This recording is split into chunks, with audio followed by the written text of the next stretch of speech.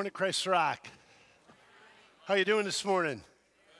Good. It is an honor to be here. It's good to be here um, in this series on miracles, the seven miracles of Jesus found in the Gospel of John. It's awesome.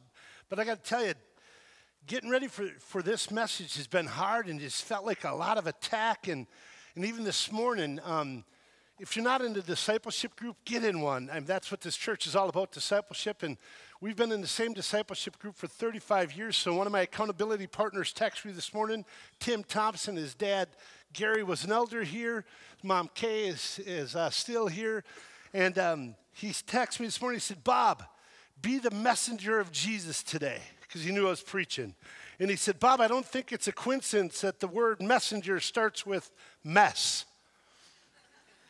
He said, You're fitted for this. And really, it, it felt like that. But even on the way here, I got to tell you, got it all ready. And I don't know if you know the work that goes in on a Sunday morning and all the tech and all the work they do, but the speaker has to have their notes in by Thursday for the outline so we can get it up on the screen and have it all done. Can we give them another round of applause for all the work they do?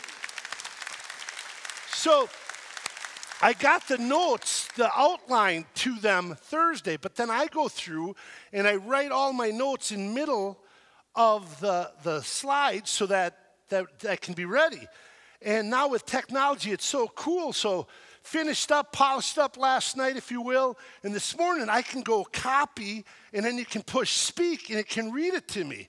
So I did that. I was listening to it on the way in three times on the way in this morning so I don't have to look at my notes as much. And the third time, I don't know what I pushed, but I deleted all the message. Oh, funny for you. I was like a panic attack coming in this morning. Ah, so, um, you know, I know what happens after service. You go out to your car and go, so how did you like service? Well, the music was good. That one song they didn't have to do, and that one was kind of off, but that was okay. And the message, out, and I'll give it a four or five. You know, so I know we get critiqued. That's what we do, right? But I pray this morning, instead of critiquing me as much, here's what I'm going to ask that really happened on the way, and I think it was a spiritual attack. I really do. But I'm praying that more than evaluating this service, may you continue as we just did in worship. Would you encounter the living God, even through this mess of a messenger? Amen? Amen. So let's do that. Um, last week I couldn't be here. I was preaching in another church. Otherwise, I would be here. But I went and listened to the message online, and Joel nailed it.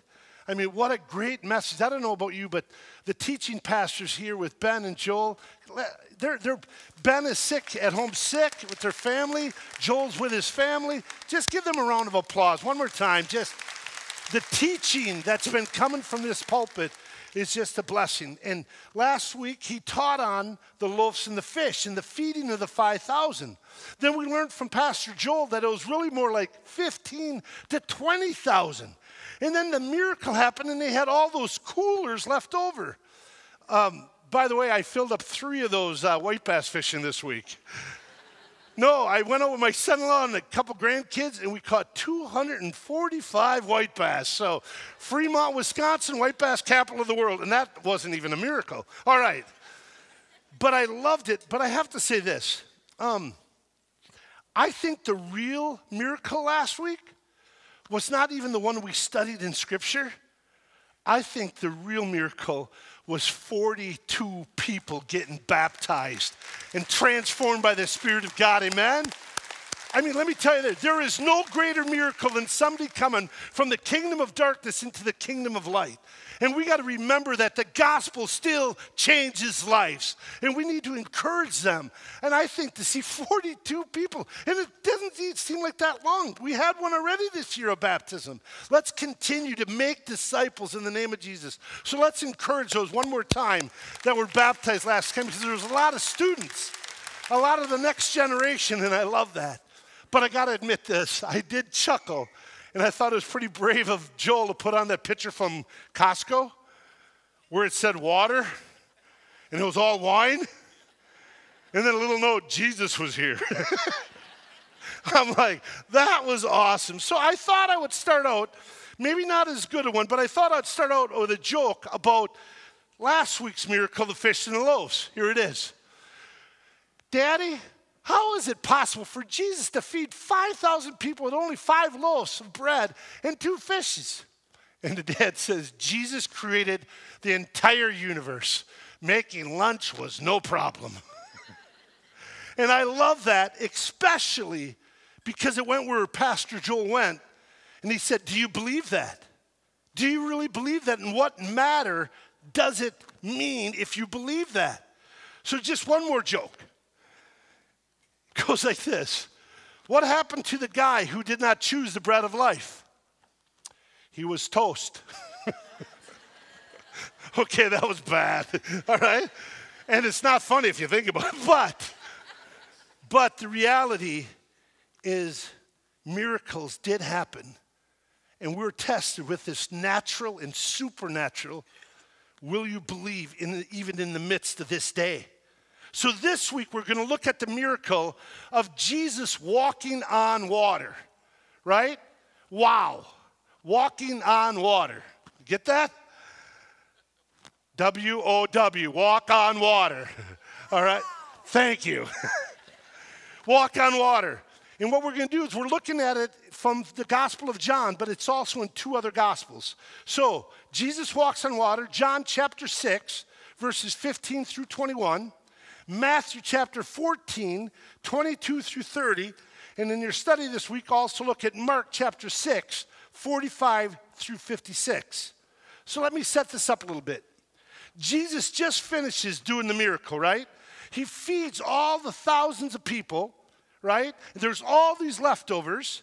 Then the disciples go down to the lake. I like them. They go down to the lake and they're going to get in the boat to go to Capernaum.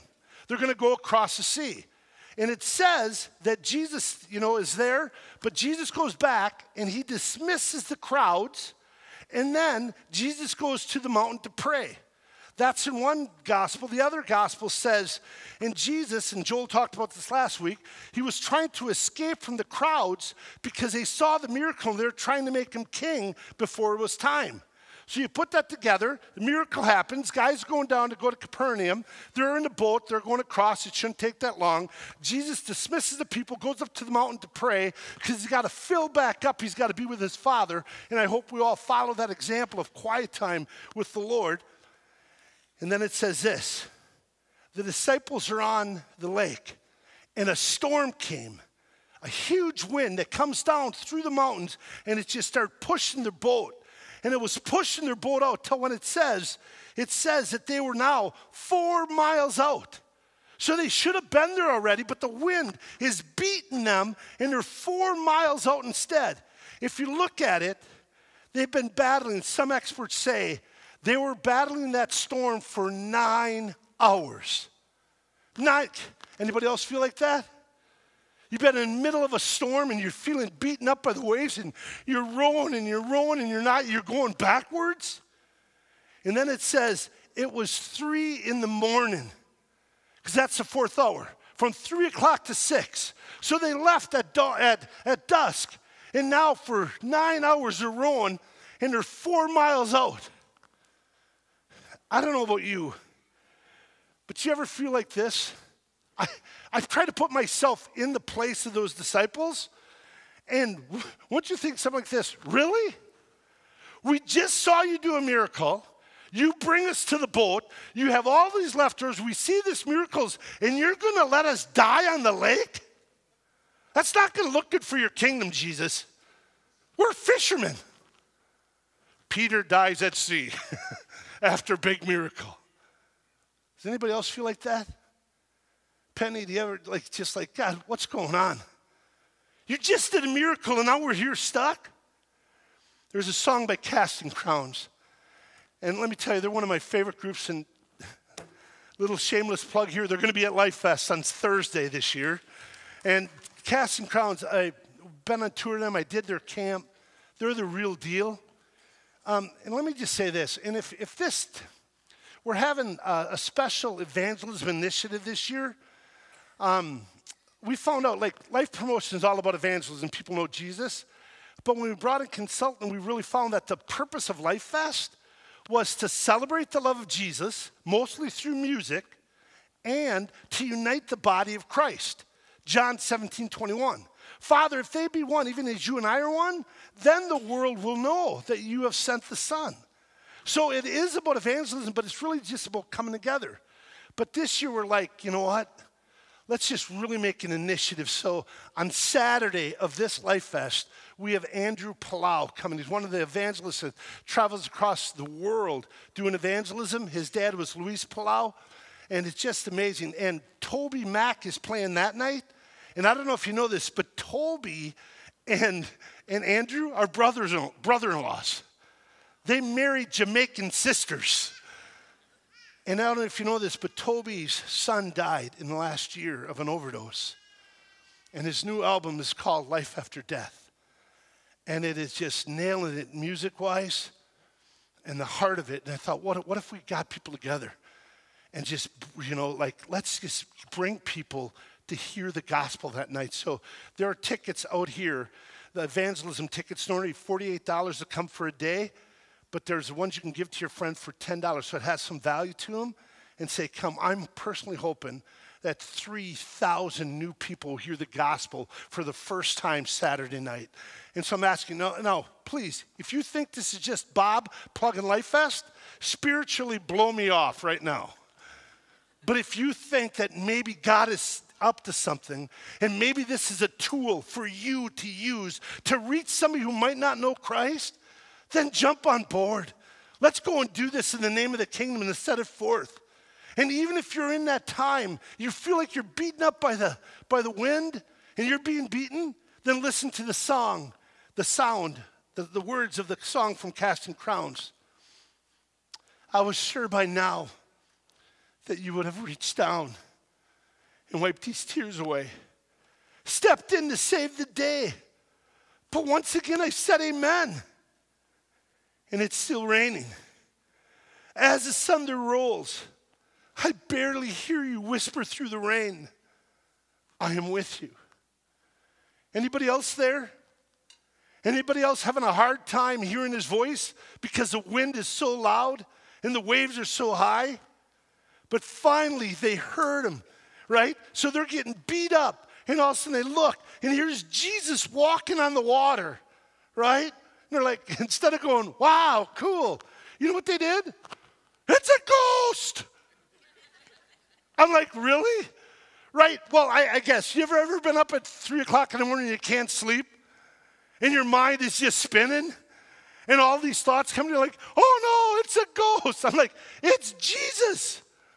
I'm like, why didn't they recognize him? Can I tell you why? They didn't recognize him because they weren't looking for him in the storm. They saw him in the miracle. They saw him when everything was good. They saw him when their tummies were full. But now in the storm, where's the sovereign God? I pray this. I pray we look for him in the storms of our life because he is there. He is there at three o'clock in the morning. He's there in the middle of your anxiety. He's there in the middle of your panic attack. He's there in the middle of your pain and your struggle and your loss and your grief. The Bible says in Isaiah 43 2, when you go through deep waters, I will be with you.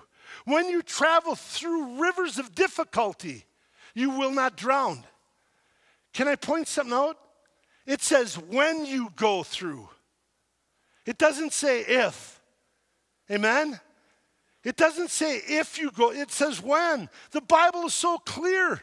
Jesus said, In this world you will have tribulations. If you still think coming to Jesus can make all your problems go away, open your eyes. I, I don't know about you, but sometimes being a Christian seems tougher, right? There's more. But I do pray that you do this today. In the middle of your chaos, in the middle of your storm, I pray that you hear his voice today. Because first they thought he was a ghost, but all of a sudden Jesus said, It is I. Do not be afraid. That's in John 6 20. That's NIV. But I love the new, transla- the new Living Translation here, and I'm not sure exactly which way Jesus said it, but I love this version because Jesus said, Do not be afraid. I am here. The days that you feel like Jesus has abandoned you, He's left you all alone in your problems. Can I assure you that the Word of God says, do not be afraid. Jesus says, I am here. In the middle of the storm, in the middle of this mess, in the middle of the chaos, in the middle of your pain. And then I hope you do what the disciples do. John 6 21, it says this. So Jesus said, It is I, I am with you, I am here. And it says they were eager to let him in the boat, and immediately they arrived at their destination. Will you invite Jesus into your storm? Will you invite, will you see him in the storm and invite him into your boat, into your life, into your situation? And it says immediately they're at their destination. Now I know as a, as a studier of the word, that probably meant they were immediately at their destination. They're at Capernaum, right? They made it there. But I wonder, Peter, maybe is there maybe a deeper meaning? Maybe where they're saying, hey, what is your destiny? What is your final destination? What are you supposed to be about? Because isn't that what we're supposed to be about? Getting to our final destination. What's our purpose in life? Let's cross reference with Matthew chapter 14. It says this When they climbed back into the boat, right? So Jesus gets into the boat and the wind stopped. And the disciples worshiped him and said, You really are the Son of God. According to Scripture, this is the first time that it's recorded that the disciples actually worship Jesus. So, the purpose of this miracle, right? They're in the middle being beaten up for nine hours. They didn't say, Why didn't you come earlier? As soon as they figured out, he said, I am here. They're like, Get in the boat. Get in the boat. We need you. And they get in the boat, and for the first time recorded in Scripture, they worshiped him. I think it's also important to know that their worship was also with their confession. They said, You are the Son of God. May this church never stop preaching. There is one God. Yahweh. And he sent his only begotten son, Jesus, to come to earth. And he died and for our sins and for yours. And he rose again on the third day. And he sent his Holy Spirit to live in our heart. And he is coming again. Amen. And that is the hope of the world right there. That's what you were made for to worship him, to be a disciple, a loyal, learning follower to bow the knee and say, You are God, you are Lord, and to worship Him. Maybe you're here today and you don't know Him as your personal God. See the miracle of a changed life, see the miracles in the scripture, and may the Holy Spirit bring you to a point of belief. I would be saddened not to mention my own mom on Mother's Day. Here's a picture of my mom.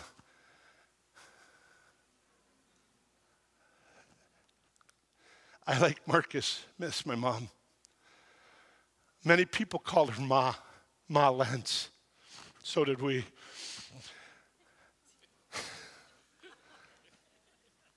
but my mom loved people. And more than loving people, my mom loved Jesus. And she was a worshiper.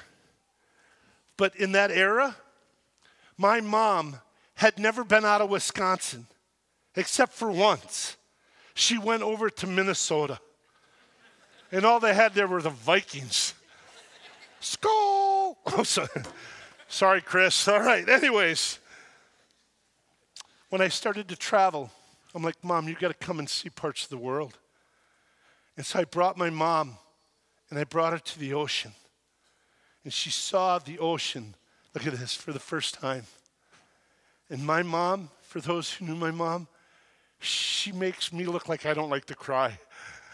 And the tears just rolled down her face, and all she could do was go, Wow, wow, wow. For her, it was an act of worship to see creation and know that the Creator made it, and to worship Him by seeing the beauty of the creation. And so we named WOW, W O W, without words. In an act of worship, because when you can get a Lenz not to talk, that's the eighth miracle. but she would just say, wow. And it was a point of worship. That's what I pray for you. We don't just sing songs, we want you to enter. No, we know that God is always present, right? He's omniscient. That's his presence. But that's his omnipresent. There's also a manifest presence of God. In some reason, I don't understand it, but in worship, we know he's here. But you can encounter and bless his name and experience and have a relationship with the God of the universe. We long for every one of you to experience that. So then I brought my mom to the Rocky Mountains to Colorado for the first time. And I'll never forget, she saw the Rocky Mountains for the first time. And guess what?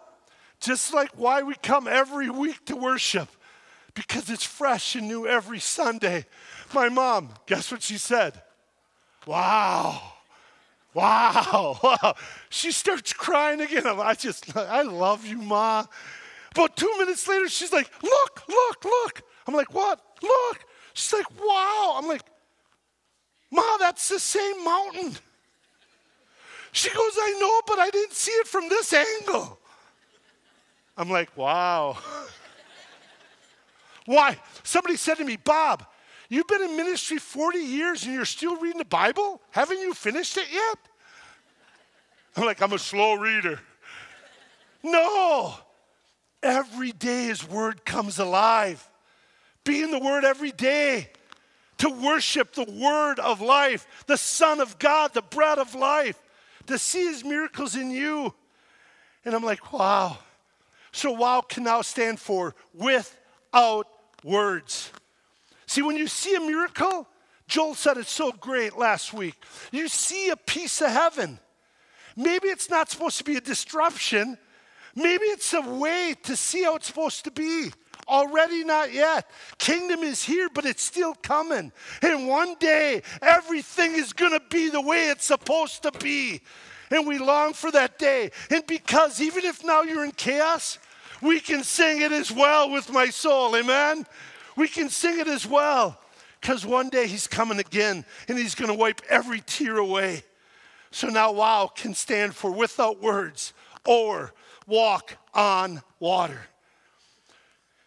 this group. How many have watched Chosen? If you haven't, go and watch it. I'm sorry, you remember the mess of Messenger? Chosen has done such a good job of showing the reality of just a bunch of guys and gals that are messed up, but that Jesus can transform their lives. I mean, I just, I just love it. And when these 12, when they really saw that he was God, and they bowed down to him and said, You are God, you are Lord, and they worshiped him. God took this 12 people, the mess that they were, and they changed the world for the good. Amen? And the gospel today is still changing lives. There's a scripture that I'd like you to look at. It's in Acts 17. And this is out of the Berean Bible. And it says, These are the people who have turned the world upside down. And now they've come here. So they're like, they're causing trouble everywhere. They're turning the world upside down. Let me ask you something. How many feel that the world's a mess right now? Right? How many feel like it's so messed up and the Bible's come true and they're calling right wrong and they're calling wrong right. And the world is so confused and the narrative is so messed up. It's like the world is upside down and it needs to be right sided. Will you be a part of turning the world upside down for the Lord Jesus? Will you be a part of changing this valley for Christ? Will you be a part for changing Wisconsin in our country for Christ? But the word wow how do you spell it? Right? Walk on water without words. Turn it upside down. Ah. Mom, we do this all the time. Like, well, when something happens, we'll go, wow, mom. Because let me tell you this God wants to move in miracles today. He wants the supernatural to come to the natural. And it's not going to be the way you think. Maybe not in some flashy miracle, right? Maybe not in some power or position. You know where he's going to do it? In the everyday. Through moms and dads and brothers and sisters and friends and small groups and discipleship groups. That's where it'll be. Maybe this is just men, but guys, I got a little bone to pick with you. So many times when I, my kids were small, I'd say, hey, can you get together Friday night? And they'd say, ah, oh, sorry. I'm like, well, what are you doing? They're like, babysitting the kids. Can I make something real clear? You don't babysit your own kids, you parent them. You're a mom or you're a dad, amen? We got to really start seeing that that's what we got to do. No, I know my wife, she's been a rock star as a mom, and I've been gone a lot on the road traveling, and, and I'm so thankful for my kids. And by the grace of God, they're all following Jesus. But when I came home off the road, I, I wanted to be there and, and help some, you know. So, you know, picking the kids up from school, right? Doesn't that feel like you're always driving? Like, I, I didn't even know. I worked for Uber before there was Uber. And I never got a five star from them. They never said thank you or gave me a tip. So I'm in Little Little Chute picking them up at the elementary school, right? And it get out at three, and I'm there, and already the line's a mile long, so it goes all the way to Kaukauna. and I'm waiting in line. They're supposed to be out. And finally, people are picking up their kids, and I get up in front of the school. Now it's 3:15, 3:20, and everybody's out except my kids. Now this is a confession, but maybe I'm not the only one. Would you get a little irritated if you're there 15 minutes, your kids weren't there yet? I'm like, where are they?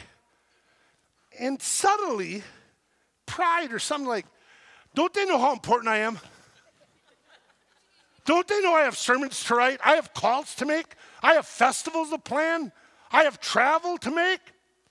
And the Spirit of God just gently spoke to me and said, Bob, whoever is faithful in these little things, I will entrust you to greater things.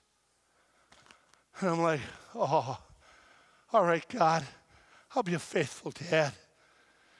And I could see it now. Another festival overseas. Maybe my next book would sell better. They haven't sold good since my mom died. and I start thinking all these things. And then the Spirit of God spoke to me again, but this time a little firmer, still loving, but harsh. And he said, Bob, you got it upside down. You got it all wrong, Bob. The big stuff isn't being on stage. The big stuff isn't your position. The big stuff isn't the festivals. Loving these kids is the big stuff. And I had to turn my thinking upside down. That's called metanoia. That's called repentance. Can we give another round of applause to moms that are saying this is what matters and they're loving their kids as worship? Because that's that's the miracle. I know I got to hurry up here, but I got to tell you this story of my friend. In the early days of the ministry, when we had Christ Rock, and, and before Life Promotions, it was called Solid Rock. We were out on a, we, would, we had to do a fundraiser. And because we were friends with Jack's Pizza, we thought, let's sell pizzas door to door. So that's what I did. And we were promoting our 24 hour hotline, Lifeline. And we're going door to door, and we did. We sold pizza, had a good time. But I met this lady, and her name was Donna. Still is. And Donna bought some pizzas, but I got to ask her about her life, and she said she was a mom and she wanted to be a mom so bad that she ran her business out of her home, that she could be there for her kids. Now, please tell, please, I know that there's a lot of debate. You know, can I just make something real clear? clear? I don't believe in housewives. My wife married me. She's my wife. I'm her husband. She has chosen to be a homemaker and to stay home. I think women should have the freedom to be who God's created them to be. If that's in the workplace, awesome, praise God. If that's at home, because of the next generation, I think we give them affirmation, amen, and say, do what God's called you to do. So Donna worked her business out of her home so she could be there for her kids. And her business did really well. But I think what's even more impressive is the influence that she had on people throughout this world. There was a book that was written about influential women. And they had one chapter was Oprah. Two chapters later was Mother Teresa. The chapter in the middle was my friend Donna. And they wrote about her in there. I got to tell you this. When I was asked by Pastor Ben to speak, I asked what day, and I got to check with my calendar and make it work. And he said, it'd be on Mother's Day. And I'm like, what's the topic? Said, walk on water. I said, wow.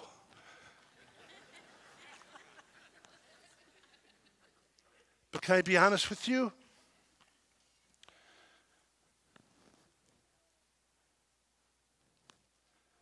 I've been going through a really rough storm of my own.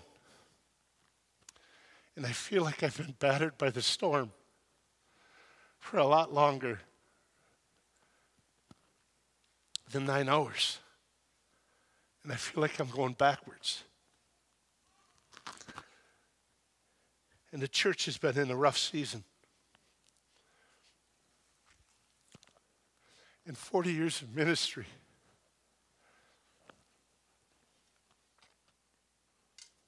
I just don't have a lot left. And I feel depleted. But God, in His goodness, tells me that the sermon is about the Jesus walking on water. My friend Donna calls that day. And it's the release of her book, her first book that she ever wrote. Guess what the name of the book is? My mentor walks on water. You can't make that up. That was a sign from God to say that I was supposed to be here this morning, that I was supposed to bring His word and declare it that God still does miracles and God is still for this church. So, my friend, that book has since went to number one on Amazon and it's making a difference in this world. You can get that book out on my table today. Donna's here. She'll sign it for you. She's from Appleton. She went to Appleton East. Sorry, okay. But let me tell you this it's not just for women. Matter of fact, when Donna's in town, because I always say she lives all over the world, her husband's from Sweden and they've they're in Arizona and they're in the Caribbeans and they're all over the world doing what she does now. But when she's here, she comes. When she's home, she comes here. And her brother Greg is a part of this church. And he, just, Greg just gave out 30 copies to the men's group that meets on Saturday. And they're going through that book. So I'm going to tell I'm going to encourage you go and buy her book today. Go and meet her. She'll sign it for you. Buy it for your mom for Mother's Day, right? Buy it. Go out there. But it'll tell you this you can also be a part of turning the world upside down. Not just by reading the book, and it will. I just did a podcast with her in chapter four. In the book, and it's written to leaders, in chapter four, it talks about how to receive Christ. It's just amazing. But you know why you would turn the world upside down? All the proceeds from the book are going to go to Spirit Wings Kids for orphanages in Africa and in India. My own daughter Amber went with Donna to Africa and saw the good work that they're doing. Let me tell you this turn the world upside down. Her mentor walks on water, and so does ours. But what I want to do is this I want to go through the lessons in closing. And I'm going to ask the worship team to come back with Marcus. And I want to show you what we just learned. And maybe you can't follow my sporadic thoughts, but here are the four lessons we just learned from Jesus walking on the water. Number one, Miracles call us to acknowledge Jesus as God. Miracles cause us to acknowledge that Jesus is God. Will you confess it if you never have? Will you confess that He is Lord today? Will you give Him lordship of your life? Lesson number two miracles invite us to worship Jesus with our whole life. That's called discipleship. Worship Him in praise, but worship Him with your actions. Miracles also ask us to look for Jesus in the storms of life. It's not a ghost, He is there in the middle of your chaos, He is there in the middle of your pain. And number four, you can be the people, we can be the people that turn the world upside down by walking on water, by seeing God do miracles, and seeing wow without words turn into mom, dad, brother, friend in the roles that He has brought you to bring the supernatural down to the natural so we can point to the one true God again. You know, I didn't even get a chance to talk about Peter. I thought about Peter going, you know, not Peter Lesky, but Peter the apostle, because he walked on water. But it's not even mentioned in, in the book of John, right? You got to go to Matthew. But when he was, right, when they saw him, they asked him in the boat and the, they worshiped him and they declared him as Lord. But in the other story, Jesus, he sees Jesus and says, If it's really you in the middle of this storm, tell me to come to you on the water. Tell me to walk on the water. And everybody gets down on Peter because he started to sink later. But may I point out, he's the only one that got out of the boat. Would you get out of the boat today? In the middle of your storm? He didn't wait till the storm stopped. In the middle of the storm, Jesus said, Come. Come to him in the middle of your storm. And you know what you're going to see? Not only does Jesus walk on the water, you can walk on the water of the storms of your life. And he walked on water. You are a miracle of God. But then what happened? He heard the wind. He saw Marcus, he saw the waves. And he took his eyes off Jesus and he looked at the headlines, he looked at the media, he looked at the world, he looked at his pain. And he started to what? He started to sink. But what he does next, I think, is even more impressive than him walking on water. But because he starts sinking and he goes, Save me!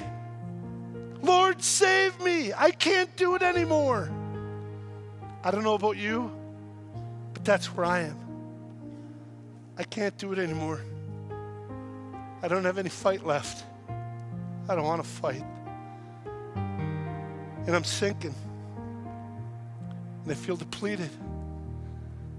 But all I can do is throw up my hands and say, Save me. You are worthy of it all.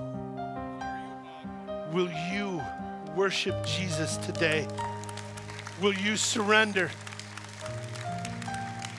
And I, I know it doesn't sound like an analogy that fits with water, but I got to share one in closing. And I'm always sorry that you come to second service because I always go longer. But when Peter started to sink, he didn't start dogpedaling and just flapping his arms and trying to make it. So many of us, when we're sinking, we try harder and try harder and feel shame and try harder. Said, Save me. Will you do that today? There's an Andean condor from the mountains of the Andes. This bird weighs 30 pounds. It has a wingspan, watch this, of over 10 feet. They've studied this bird and they have found that it has traveled 500 miles without ever, without ever flapping its wings. It just rides on the air.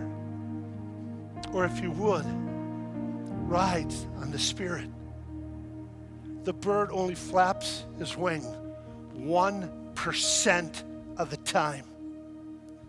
Check out your life and mine.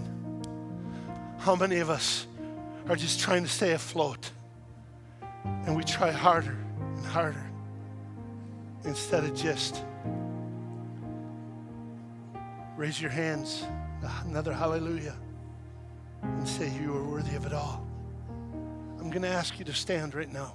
Would you stand with me in closing? And no matter what storm of life you're in, would you just not try harder? Believe the gospel. He invites us to say, You are Lord. Miracles invite us to worship Him. Miracles invite us to see Him in the storm. And miracles call us to be the people who turn the world upside down. Would you just declare Him as Lord? And in worship, would you raise your hands and say, You are worthy of it all? Without words, an act of worship. In Jesus' name. You are worthy of it all.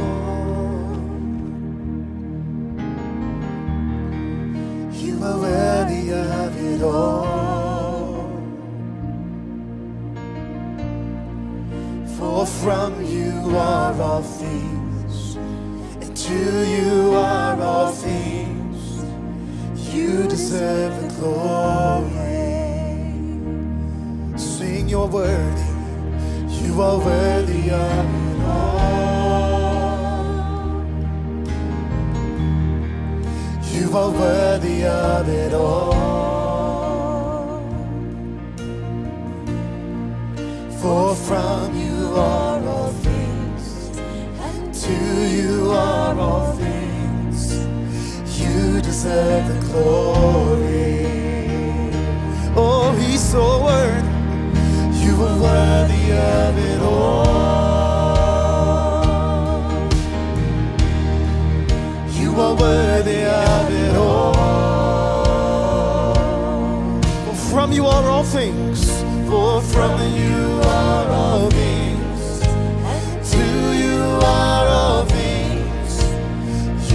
Deserve the glory. Come on, lift up the name of Jesus. You are worthy of it all. You are worthy of it all.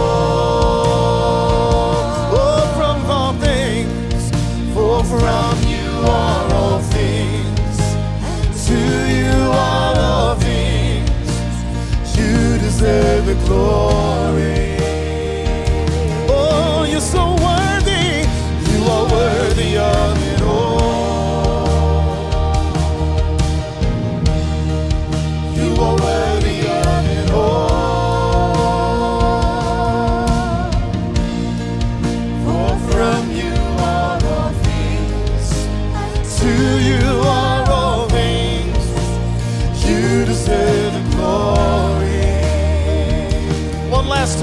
Your voices. You are worthy of it all. You are worthy of it all. For from, for from you are all things, and to you are all things. You deserve the glory. He deserves the glory. Let's give him a praise clap today and thank him. He deserves all the glory and all the praise. And we are grateful. Let's thank Bob, show our appreciation to him this morning. Thank you, Bob, again for coming and sharing from your heart. We got the photo booth for moms. We got the table for life promotions and Donna's book. We have got a message next week on Jesus healing the blind man. And if you need prayer, come on up. There are people who are happy to pray with you this morning. Have a blessed Sunday and Mother's Day. We'll see you next week.